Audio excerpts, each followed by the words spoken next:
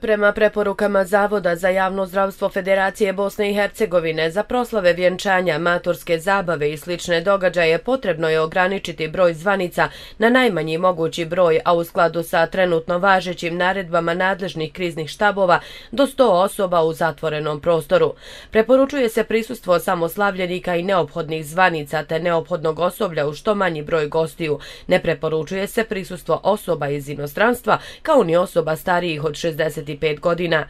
Zvanice koje imaju znakove respiratornih bolesti ne bi smjele prisustvovati događaju, te se trebaju obratiti svom ljekaru. Potrebno je voditi evidenciju prisutnih gostiju i zvanica te evidentirati raspored sjedenja. Ovo će biti korisno zdravstvenim radnicima u slučaju pojave oboljelih od COVID-19 nakon događaja, a koji su bili prisutni na proslavi. Ova evidencija treba sadržavati kontakt podatke osoba prisutnih na proslavi. Preporučuje se da se sve proslave kada god je to moguće organizuju na otvorenom uz osiguranje minimalne udaljenosti između osoba prema dosadašnjim preporukama 1 do 2 metra. Ako se proslava održava u zatvorenom broj zvanica, također mora biti prema naredbama nadležnih uz osiguranje preporučene udaljenosti između osoba.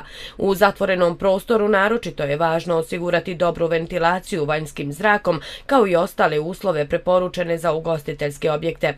Preporučuje se da zvanice sjede za stolovima i da za vrijeme proslava poslove nema aktivnosti tokom kojih dolazi do bliskog kontakta, osim između članova istog domaćinstva. Preporučuje se osigurati fizički razmak minimalno 4 metra između pjevača i muzičara od ostatka zvanica, kao i osigurati distancu između samih muzičara. Ne preporučuju se pozdravi koji uključuju fizički kontakt kao što su rukovanje, grljenje i ljubljenje.